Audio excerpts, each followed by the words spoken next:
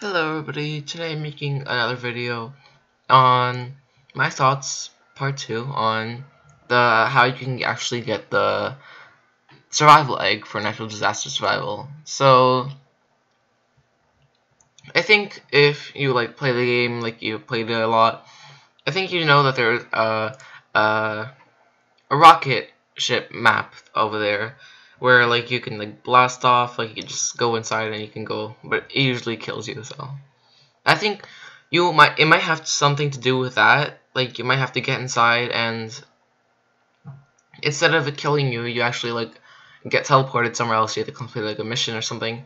I think it has to do something with the rocket because I mean they already have a rocket, so I don't know. I just feel like it connects the egg has a rocket on it, the badge has a rocket on it, and then there's a rocket map. So I think it definitely has something to do with the rocket. I'm not sure what though, but I think you have to get inside and it'll teleport you to do something. Because it's a really small map, I don't think there's going to be too much to do over there.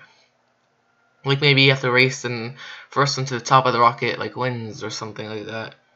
But it's just a really small map, so I think you, eh, you have to get inside and it'll teleport you somewhere. Because I don't really think there's anything else much to do on that rocket map. So yeah, but that's how I think you could actually get this this badge. I mean, just as blast off, so I guess you're gonna have to get inside and blast off. But there's nothing else I can really think about this. So yeah, that's my thoughts on how to get this.